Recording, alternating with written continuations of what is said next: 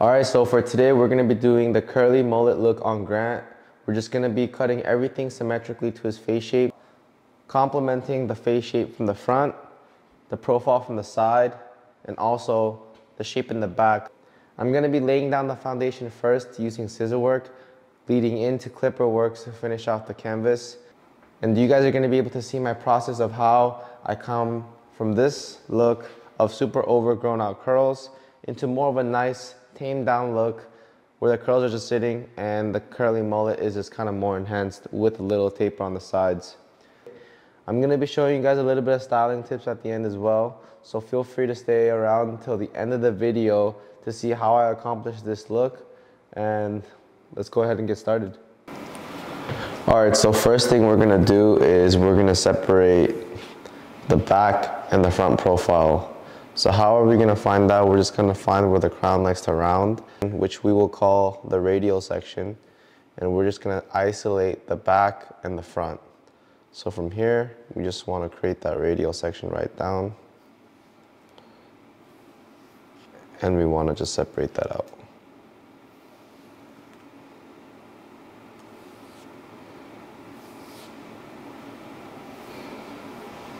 And we're just gonna disconnect the back from the sides here.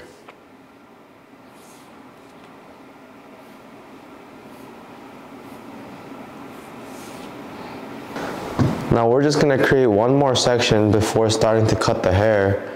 And that's gonna be on the side profile here, the parietal ridge. And we're gonna find where the parietal ridge likes to round from the top. So from the top, we're just gonna see where that rounds into the parietal ridge. And we're just gonna create that section and section it off into a nice square box.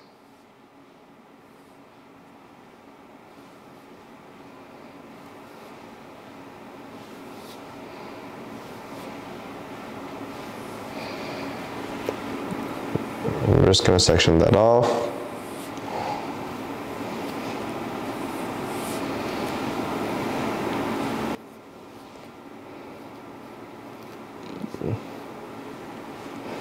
Just like so.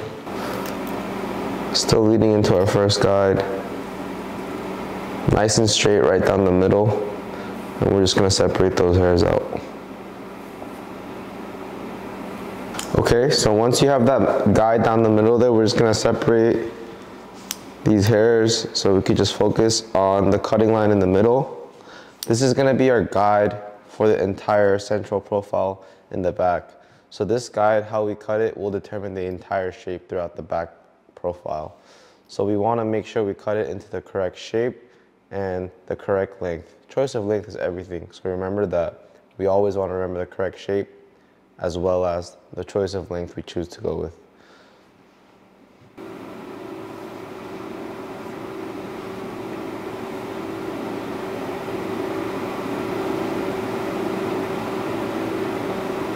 Two inches of his hair off, right there.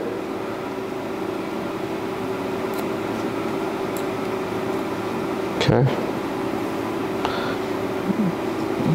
Move down. Now, now we already have a guide set from the previous cutting line. So we just go in and follow that guide.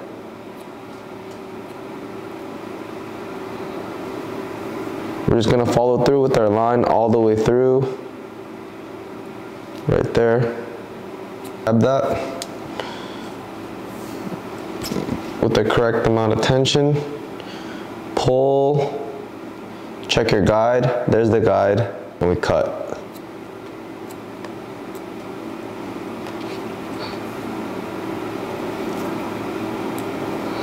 Okay. Follow through with that line. Now the over direction, which is the pulling from right to left, the over direction is going back to the middle. So we're always gonna over direct back to its previous because we're cutting in a nice square line. Okay, there's the guide. Cut. So we just finished both sides and as you can tell the curls are sitting a lot better and the shape in the back is a lot more tamed down and it's not so poofed out. we removed a lot of the volume in the middle area here while maintaining most of its length. So everything is just sitting a lot nicer at this point. We're gonna be moving onto the sides and then the top. All right, so for our side profile here today, I'm gonna be going in and blending in the sides into that taper line where that taper was previously set. Because right now it's disconnected, so when we style it, it's just gonna overlap the taper, not complement it. So what we're gonna do is we're gonna blend that in slowly by using a forward graduation method. So what we're gonna be doing is grabbing the first guide, almost splitting that first section into two. Okay. And what we're going to be doing is we're going to be grabbing that first section down.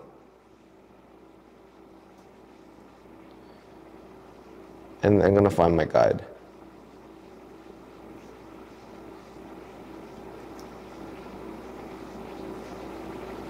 Okay. Now that's where we want to blend it in. So I'm to go ahead and cut that right where the guide is.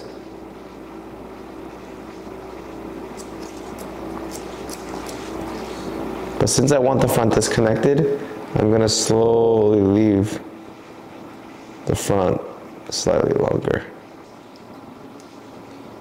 There's my guide. I'm gonna be slowly starting to disconnect the front. So notice how I'm going longer as I go forward. And as I move forward, I'm gonna be leaving all this nice and long.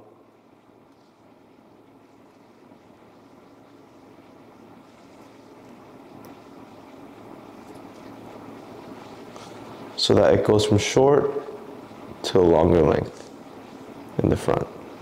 Okay? Just like that. And we're gonna use our front length as our entire guide throughout the back. So what we're gonna do here is I'm gonna create a small section just going nice and horizontally against the forehead line. And I'm just gonna be sectioning this front part off just so that we can work with the real central profile line in the front. Now, how are we gonna set our guide for this head up? We're gonna use our corners as our length. So we're just gonna use that corner length and I'm just gonna point cut into the front.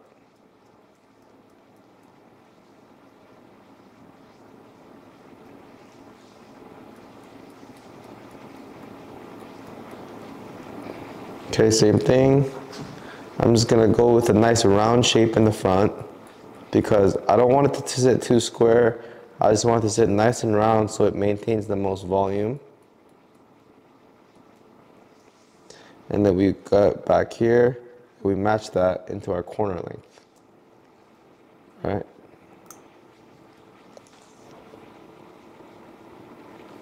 So you just want to find that length in the corner and just match it right through. So it's a nice U shape that we formed in the front here.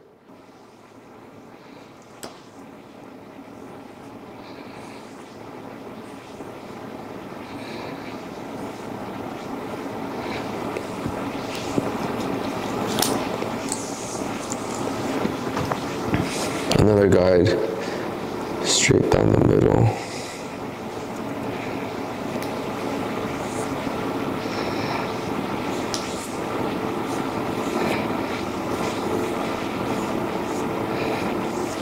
And we're just gonna section this side off nice and clean as well.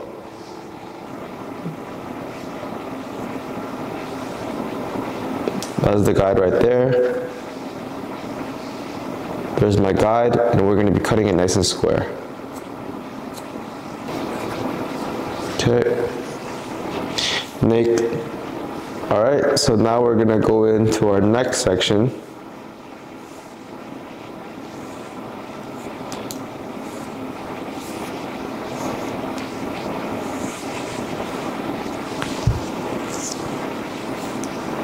And we're gonna be over directing this back to our previous to create that square shape from the front. Pull it up. Guide.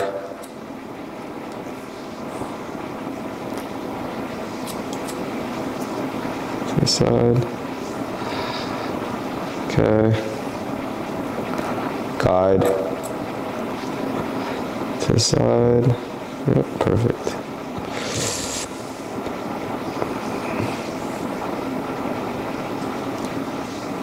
Find your guide. Into a nice square shape. Now we're gonna repeat this until we reach the end and repeat it on the same thing on the, now we're gonna repeat these steps by over directing it back to its previous into that square line until we reach the end of the right profile. And then we're gonna move on to our left profile to finish off the front. In order to finish off the top.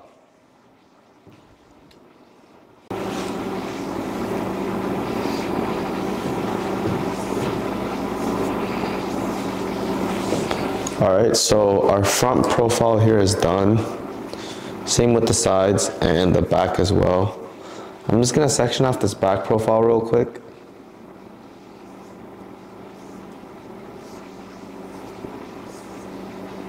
And from the middle, I'm gonna create a diagonal line straight down to the corner of the forehead.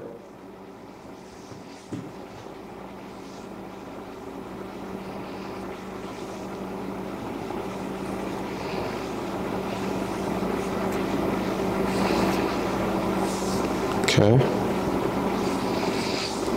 And I'm just gonna grab all these hairs down to that guide.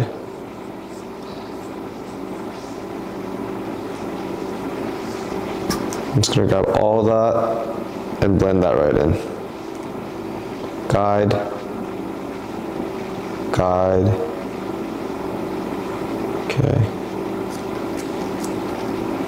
Just gonna blend all that in.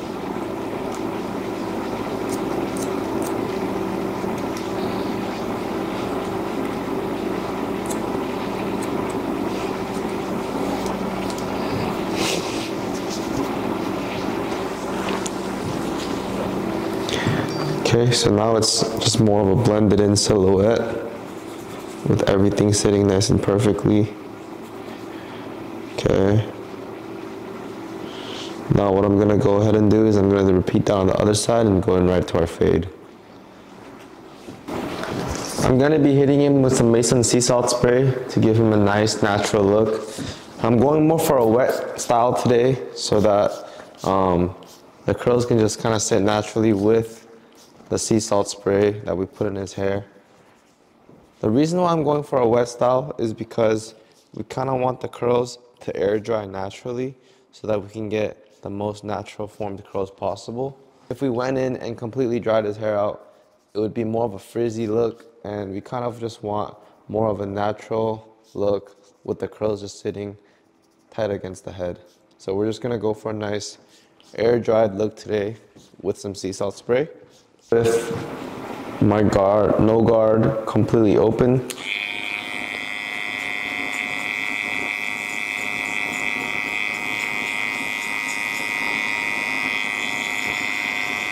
One and a half closed. I'm gonna be scooping into that shape.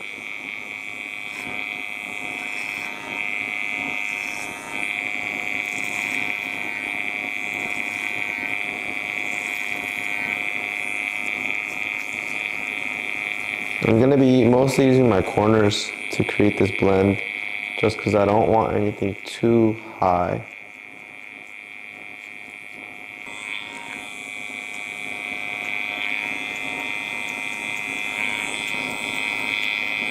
Okay.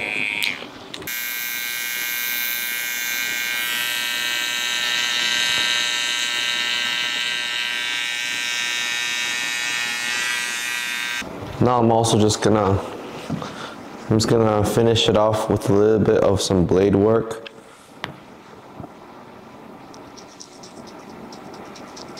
Head back.